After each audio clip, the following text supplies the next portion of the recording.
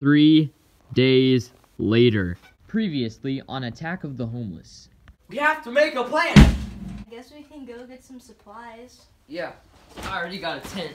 I got a paddle. Me too.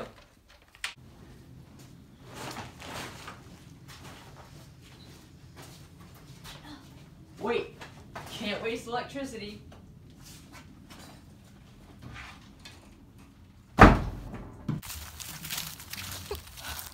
Wonder where they are. Yeah, I don't know.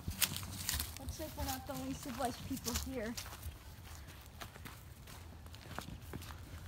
I see something through the trees.